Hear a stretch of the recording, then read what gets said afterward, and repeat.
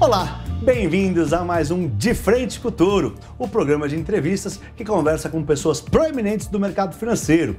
Hoje, o nosso convidado é um empreendedor nato, Marcelo Han. Marcelo começou aos 19 anos vendendo preservativos. Ele é o CEO e presidente executivo da Blau Farmacêutica.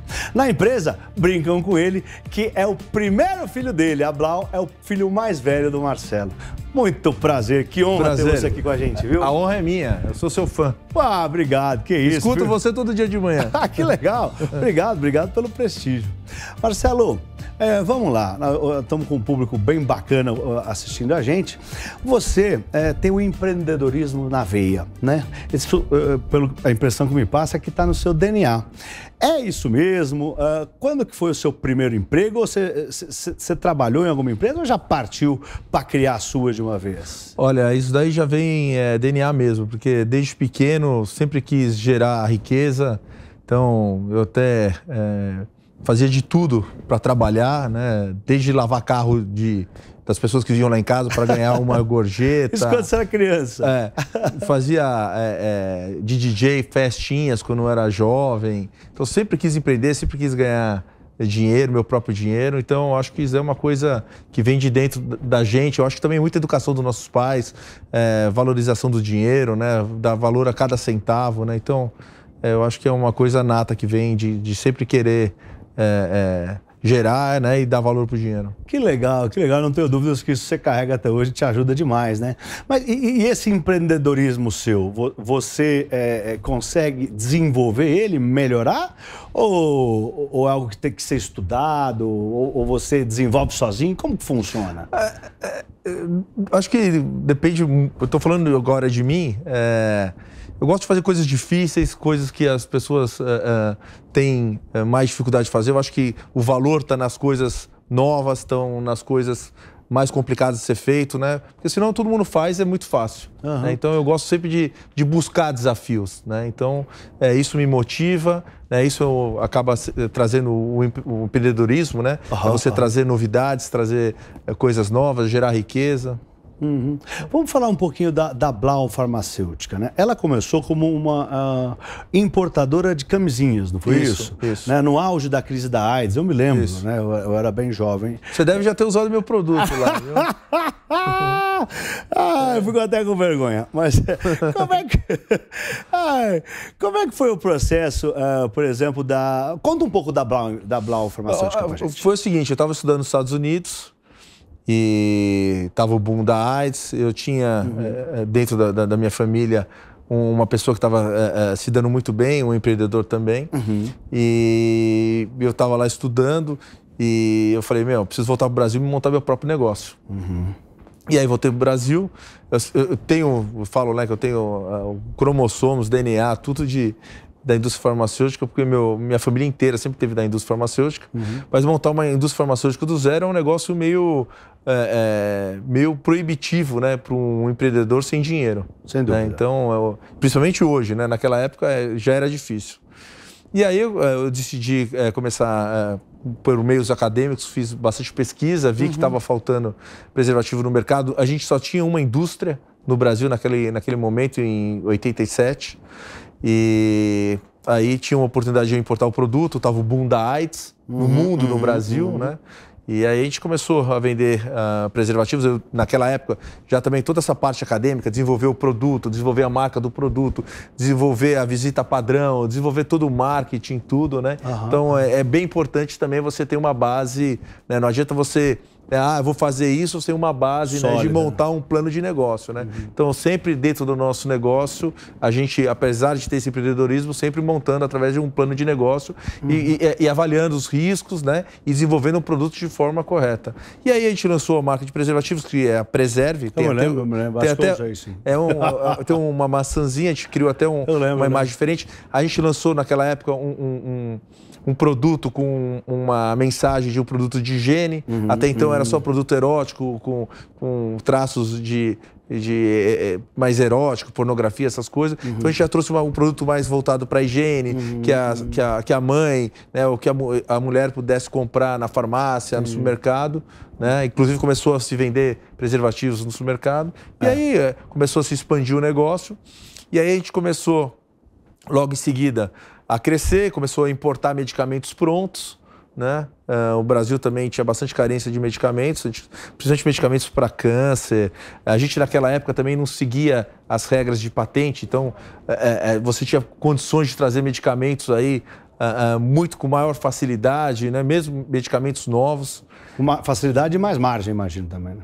Sim, tinha mesmo competidores, uhum, né? Uhum. Então era muito no, no embrionário ainda.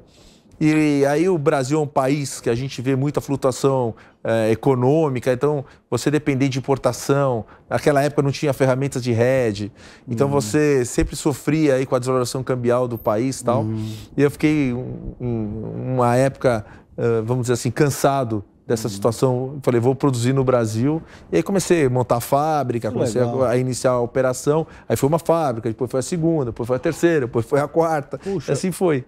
E, mas hoje tem no mundo afora, né? Hoje tem, não, não tem... A gente não tem fábrica fora do Brasil, não? a gente só ah, tem no tá. Brasil. A gente tem quatro fábricas aqui no Brasil. Tá. O que a gente tem fora do Brasil, na América do Sul, são subsidiárias. Tá. Também é uma coisa é, que a gente anteriormente né, tinha muitos parceiros internacionais, exportava os medicamentos, mas o parceiro falava, ah, eu quero só é, levar o filé mignon, não quero levar, modo de falar, né? Só quero sim, levar sim. Os, os, medicamentos melhores. Os melhores, tá. né? Não quero levar esse ou outro. E a ideia da companhia é vender todo o seu pacote de portfólio. Hum. Né? Então a gente falou, vamos pegamos, começamos a comprar os nossos próprios clientes e começamos a mudar o modelo de negócio. E, e, e, hoje a gente tem presença na América do Sul, a gente está na Argentina, Chile, Peru, Colômbia e Uruguai. Qual que é a sua formação acadêmica? Ah, minha formação acadêmica, eu falo que é mais da vida do que é, educacional. Eu acabei não me formando, eu fiz o, o, o curso superior, mas eu acabei não me formando no final. Tá. Eu acabei, porque eu, naquela época era bem puxado, né? Eu comecei muito cedo, com 19 anos, então eu trabalhava de dia, e ia estudar à noite. Entendi. E aí, depois do terceiro ano, comecei a ficar cansado. O negócio aí, pegou, começou a andar? Começou a andar e eu acabei não, não, não terminando, infelizmente. Ah, não, mas acaba que a experiência, né, as experiências empreendedoras acabaram né, por, por, por se sobressair. É, eu acho que uma, uma, uma experiência muito é, importante da minha vida foi ter estudado fora, Legal. Né, ter morado fora. Eu também, e... eu também morei em Miami. Você ah, morou é? onde? Eu morei em New Jersey, no, em Rutherford. É, e, e, numa universidade de farmácia, uhum. né? Eu fiquei lá uh, um, ano e pouco. Sempre meio que ali, né? É, a família, ali. os é. estudos, as visitas. E, e, foi muito bacana, foi uma experiência de vida, né? De, de aprendizado, o que me deu muita base para montar meu próprio negócio tá. e também viajar, explorar o mundo. E fora o inglês, né, que é muito importante né, para o seu dia a dia dos seus negócios, principalmente para quem trabalha com comércio exterior. Mas, sem dúvida, hoje é imprescindível, né? É. O, é, o, eu cheguei a ler algumas coisas, queria que você contasse, né? O, às vezes o pessoal te, te, é, te descreve como uma, um personagem, um empresário exótico. Conta essa história para gente aí. Não, é. é a fama? É a fama? Não, não é a fama, não. O pessoal explora bastante, né? É, a gente é, é, um patrocinador há muitos anos é, do automobilismo, está né? uhum, uhum. um pouco no DNA da companhia também. Né? A gente vê o esporte muito ligado com saúde, né? então é, a gente iniciou a investir nesse esporte alguns anos atrás, até porque é, muitas das indústrias farmacêuticas no Brasil estão uh, uh, no automobilismo, né? investem no automobilismo, as maiores empresas estão investindo no automobilismo. E aí eu vi lá o marketing de relacionamento uma coisa muito importante, né? de você trazer uh, uh para dentro do autódromo, mostrar né, todo o desafio que é, que é, é uma coisa de mostrar a competitividade, mostrar uhum. o esporte, as dificuldades.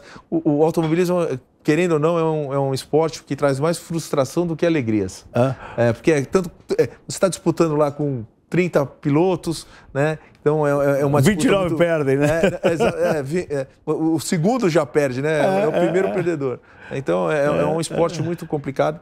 Mas voltando lá atrás, a gente tem um marketing de relacionamento, né? Então vem a família, passa o dia, ah. tem a volta rápida, é, é, se encontra com os pilotos, é, e, e é, um, é, uma memória muito importante, assim. aí teve viu... uma festa que você entrou com um carro de corrida lá, foi ah, isso? Não, aí o que aconteceu? Eu entrei um, um, dia desse, voltando lá na história, é, eu entrei num, numa festa de 30 anos da Blau, com o carro da Stock Car, E aí utilizaram essa foto aí é legal. e falaram que é. Falaram que é excêntrico. Uns falam que é excêntrico, outros falam. Mas foi bacana. Eu nunca, tinha entrado, eu nunca tinha entrado no carro da Stock Car e nunca tinha tido a oportunidade de ligar, né? E, e- e- e andar um pouquinho em primeira marcha aí. Mas foi Mas bacana. mas você também, eu soube que você é apaixonado por carros, por corrida, eu também, né? Ah, e você patrocina, né, a, a- Stock Car brasileira, você patrocina lá. É, a, a gente usa a- hoje em dia né, a lei do incentivo, né, O- o esporte, Aham. né, eh, parte dessa verba é utilizado no automobilismo, como a gente também utiliza na lei Rouanet, utiliza Uhum. pra, também para ajudar a Fundep, tem, tem vários, vários hospitais, né? Tá. Então a gente ah, utiliza tudo que a gente ah, pode, né, utilizando para apoiar ah, esses projetos aprovados aí pelo... Isso, isso é algo que pertence à indústria ou é, um- um- um- algo pessoal seu, interesse pessoal seu? Olha, eu sou, eu sou apaixonado por automobilismo, eu corro de carro, né? Tá. Que legal. É, Eu corro no exterior, inclusive. Ah, corri o ano passado fora, acabei sendo campeão da categoria. Olha lá, ó. É. Mas, eu, mas eu sou um, tipo um, um gentleman driver, né? Que o pessoal fala, né? É, Eu geralmente corro eh, em competições que corre o piloto profissional Tá. e aí corre também o piloto do gentleman driver. Tá.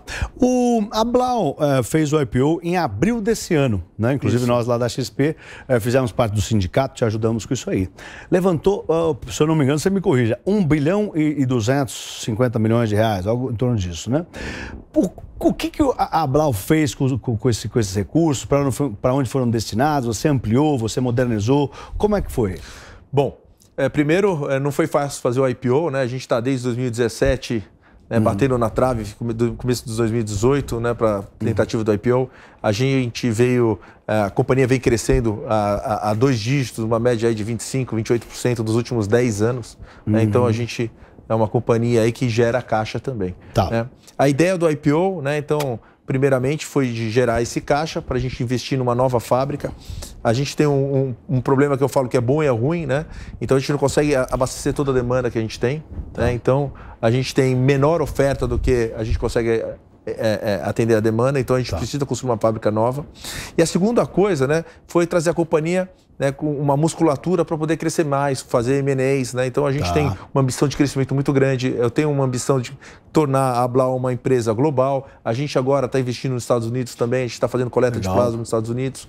A gente está investindo muito em biotecnologia. A gente está produzindo IFAs no Brasil. Tá, né? Isso que eu ia falar, já ia entrar no IFA. É, então, é, é, o IFA é o ingrediente farmacêutico ativo, né? Uhum. E a parte de biotecnologia a gente está produzindo no Brasil. A gente tem duas linhas. O né? Brasil não tem muito, né? Muita Não, planta não. produzindo O- o- o- IFA, é, não tem o- investimento em biotecnologia. Você é o pioneiro disso aí? É, eu digo que sim, porque a gente está envolvido em biotecnologia faz 20 anos. Né? Ah, a gente eh, começou com essa produção própria de IFAs já há algum tempo.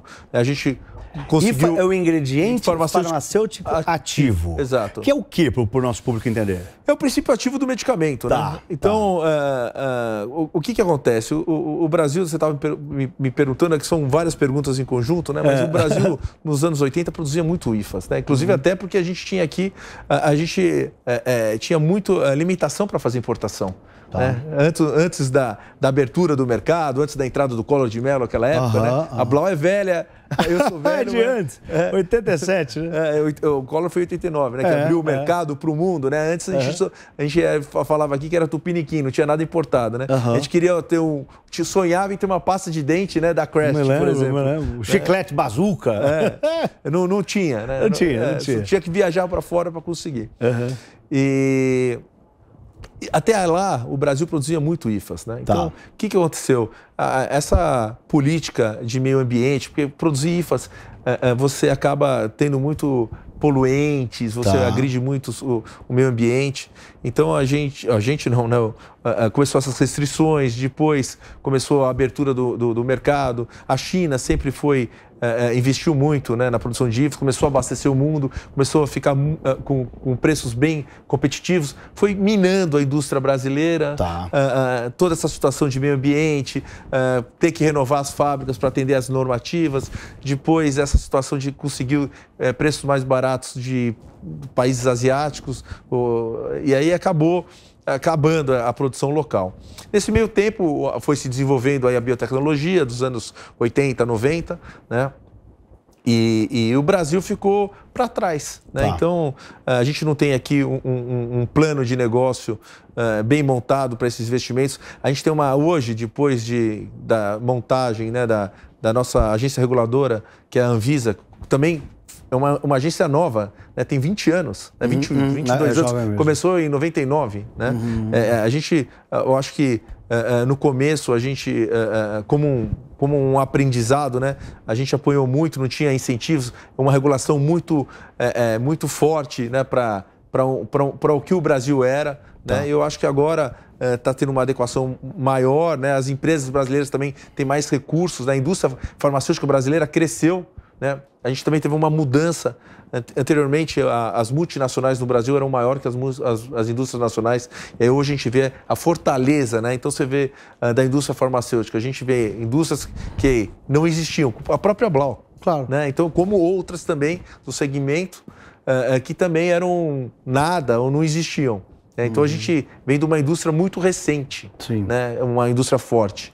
Né? Então, eu acho que esse é o papel agora. Então, todo mundo correndo atrás do, do, do tempo perdido. Né? A gente é, foi principiante aí na parte de produção de IFAs, né? E a parte de biotecnologia está envolvida nesses novos medicamentos, né? Que são as imunoterapias, os anticorpos Sim. monoclonais, os anti-PD1s, proteínas recombinantes, né? Então, são proteínas ou anticorpos que você tem no seu corpo que você consegue reproduzir em laboratório e fazer. Uh, uh, é um, na verdade, é um ser vivo, só que ele é recombinante. Que legal. É, é como se fosse, vamos dizer assim, você. Uh, você tem muito isso na, na, na, parte de agricultura, né? Trabalhar com fermentação, com cultivo celular, esse tipo de coisas. Bacana. E deixa eu te falar, falando agora sobre a pandemia do Covid-19. Redirecionou os negócios da Brown? Como é que vocês se portaram? O que, que houve? A, a, a empresa em si mudou? O negócio em si mudou? Eu, eu acho que é, é, é, a gente, na verdade, é, eu, eu, vejo o nosso negócio de saúde né, como uma ilha fora, fora de tudo que acontece em volta dela. Né? A gente como eu falei para você, a gente vem crescendo a, a, a, dois dígitos há mais de 10 anos, né? e durante esse período a gente teve impeachment, teve é, greve de caminhoneiro, teve escândalo com o presidente, desvalorização cambial, teve de tudo Pela e a companhia continuou crescendo. A gente, a gente é uma população nova no Brasil, né? a gente está começando a envelhecer agora. Uhum. Né? Então, o, a, o número é, é, de pessoas que estão tendo acesso à saúde, que precisam de saúde, não para de crescer. Claro. Para você ter ideia, o segmento hospitalar onde a Blau está inserido tem um histórico de crescimento de 15% ao ano. É muito mesmo é bastante. É então, forte, é cada forte. dia que passa, as pessoas estão ficando mais velhas, né? a gente está tendo uma população que está deixando de ser jovem e está ficando mais velha, consome uma pessoa de 60 anos em relação a uma pessoa de é, 18 anos, consome é, 7, bom. 10 é. vezes mais medicamentos, claro, pra você ter ideia. Claro, claro. E, e, cada dia que passa a gente está vivendo mais, né? Diagnósticos precoces, medicamentos mais eficientes, mais específicos. Né? Então, o consumo de medicamento está crescendo. Tá. Então, o, o, o, o mercado de medicamentos, ele não para de crescer crescer. Tá. Né? tá. Então é um, é um mercado. E, e, e durante a, e essa pandemia. Não, e a pandemia voltando lá atrás. É, e, eu estava só querendo explicar que durante Sim, a pandemia é, é, é, um segmento que a gente não parou de crescer. Tá. Voltando à situação do, do, negócio em si, né? Primeiro momento, todo mundo ficou assustado, né? Foi criado o comitê de crise. Né? Tá. Então ali a gente começou. Você ficou home office? Uh, grande parte do escritório, sim. Uh, eu não. Tá. Né? Eu, eu, eu, Não, os CEOs é sempre difícil. Né? Não, não, você sabe que, tipo assim, você já viu aquele negócio do. Eu tenho, eu tenho esse sentimento, né? Eu sou o, o, o fundador da companhia, como você falou, meu filho mais velho. É meu. É, eu, e é mesmo, esse é um sentimento, eu vou falar um pouco depois. E aí eu, sempre penso assim, né? O capitão do barco tem que estar no barco. Claro. Eu, eu achei, tipo assim, injusto, né? Porque, querendo ou não, o pessoal do escritório, a, a, a, a nossa administração é junto com a fábrica. Né? Então, o pessoal do escritório home office e o pessoal na fábrica trabalhando. Né? Então, eu falei, nada mais justo eu também estar aqui. Claro, né? Então, claro, primeira coisa, isso é um sentimento meu. Cuidando do filho. É, cuidando do filho e, e, e dando apoio né, é, é, para todo mundo, né? Porque uhum. cada um tem o seu, o seu problema. Então, montamos um comitê de crise. Primeira coisa que a gente fez foi é, é, é tentar dar melhor seguridade para todos, né? Então foi criados lá claro. procedimentos, foi criado a utilização de máscara, né? de luvas, álcool gel, álcool gel, negócio, distanciamento, viveu, né? né? A gente também eh, deu cestas uh, de higiene. Mas não fechou nenhum dia. Não, fe... não deixamos produzir um dia. Tá. E foi muito. A nossa demanda de muitos medicamentos subiu muito. Claro. claro. Né? A, gente, a gente trabalha com medicamentos de alta complexidade, então a gente tem um portfólio muito grande. Então a gente trabalha lá desde é, medicamentos para UTI, né, que são antibióticos, né? Então foi muito consumido nossos medicamentos, né?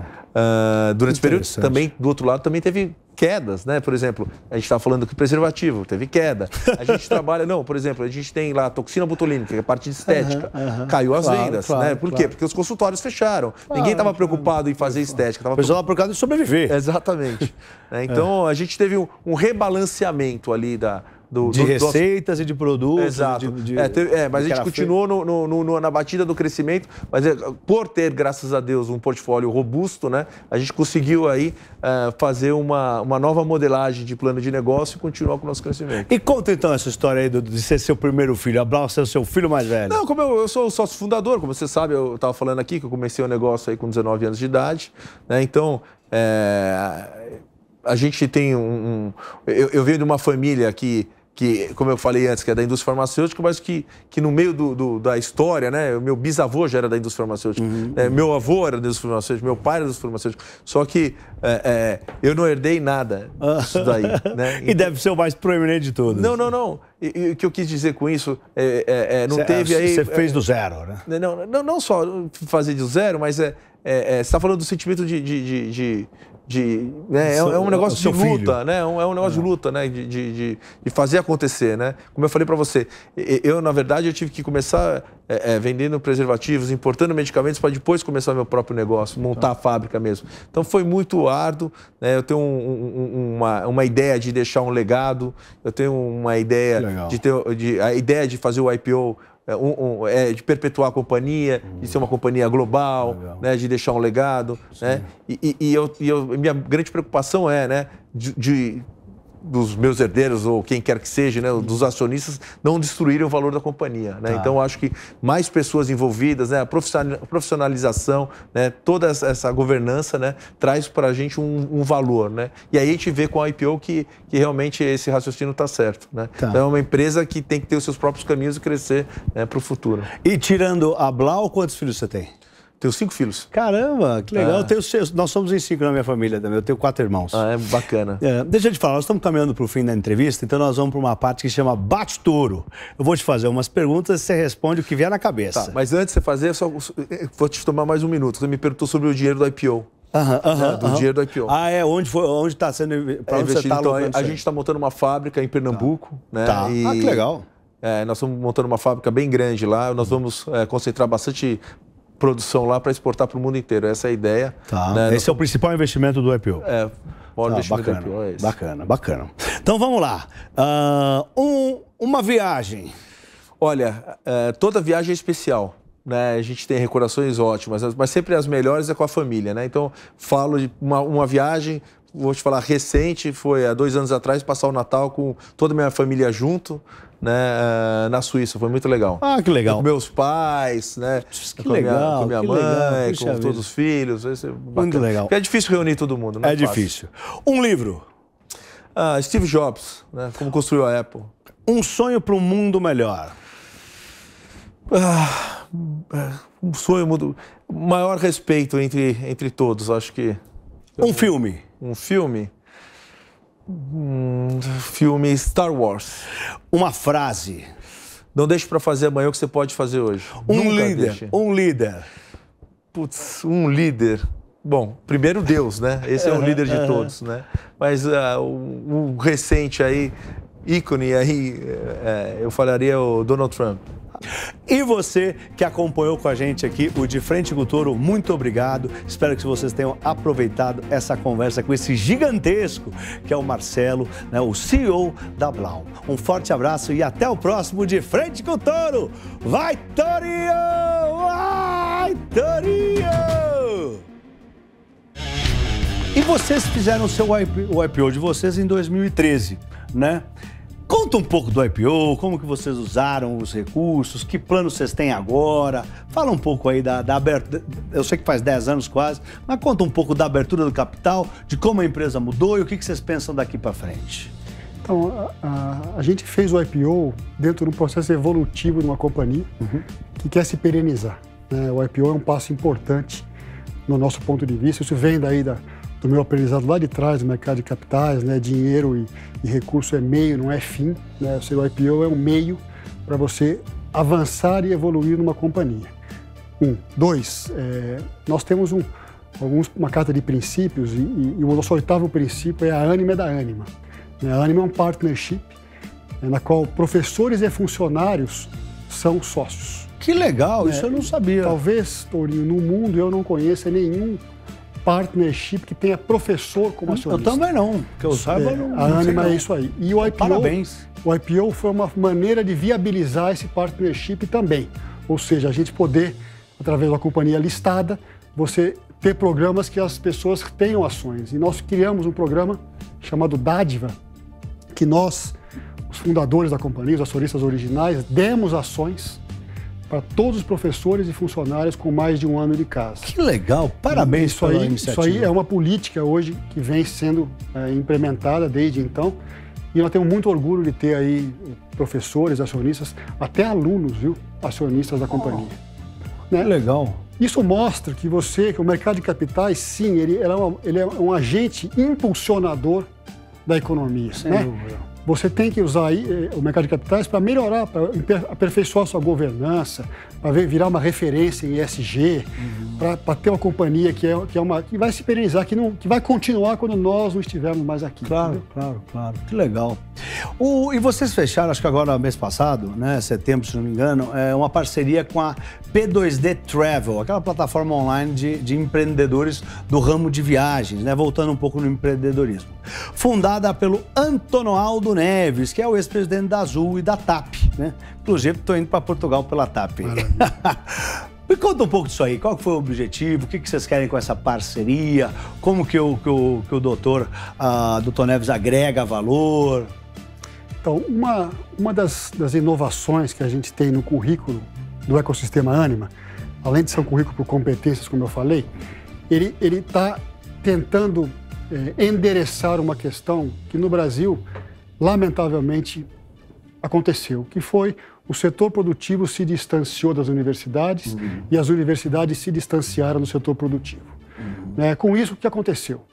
As, a, o setor, as empresas começaram a criar suas universidades corporativas e as universidades a, a formar meninos e, jo, e, jovens que tinham que aprender a trabalhar depois de formado. Olha que loucura. Né? Uhum. Então, no nosso currículo, nós criamos unidades curriculares duais, na qual os estudantes passam durante a aprendizagem dele, parte do processo de aprendizagem na empresa e parte na universidade. Tá. Concomitantemente. Então, temos aí com várias empresas referências, e, e AWS, Amazon, temos com a XP.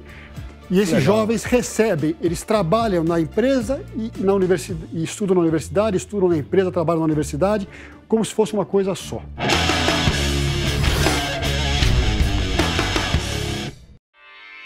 Realização Jovem Pan News.